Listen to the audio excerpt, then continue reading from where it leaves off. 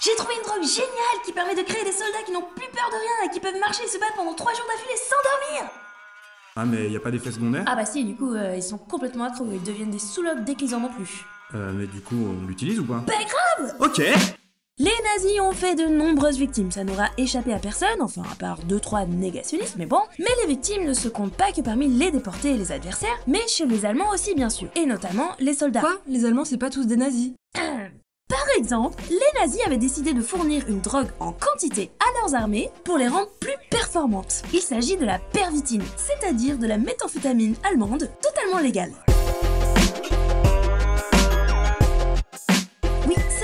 Ou du moins au début, puisqu'en 1939, on peut trouver la pervitine en libre service dans toute l'Allemagne parce que c'est considéré comme un énergisant. Tu m'étonnes, c'est de la meth La pervitine, c'est une invention du laboratoire Temler.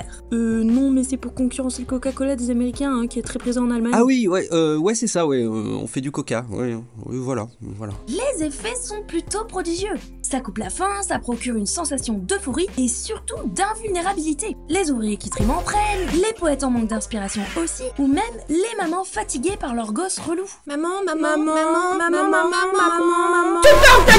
En 1940, l'Allemagne décide de mettre le paquet en termes de conquête de l'Europe. Et ça lui réussit plutôt bien, elle prend la Hollande, la Belgique, le Luxembourg et la France. Et ces soldats sont des putains de robots qui marchent sans interruption jusqu'à 60 km par jour ou par nuit et qui peuvent tenir plus de 72 heures sans dormir.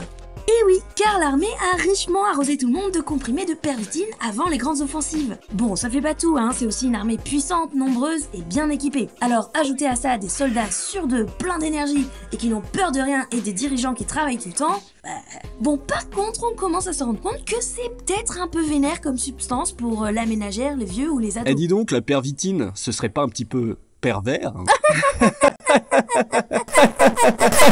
Du coup, à partir de 1941, ce n'est plus en vente libre et c'est délivré uniquement sous ordonnance et aux hommes. Ah, ça tombe bien, ils sont 3 millions au front, ça en fera plus pour eux. Mais en 1944, on estime que la pervitine n'est plus assez forte. Donc on passe au stade supérieur en créant le D9 qui contient de la cocaïne, de la pervitine et de la morphine. Et bien sûr, on a testé ça sur des prisonniers en camp.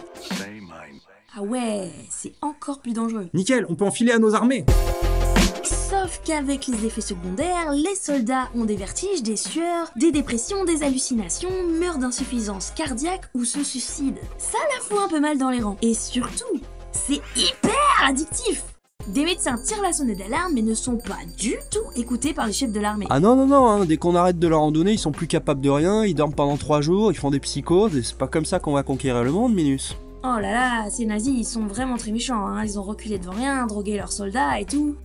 Whoopsie C'est peut-être pas les seuls.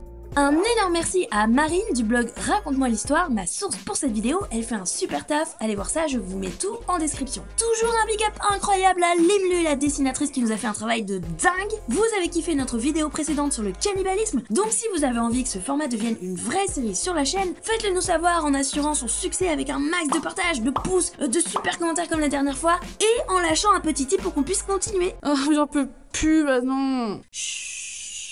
Reprends un petit cachet de pervitine, toi.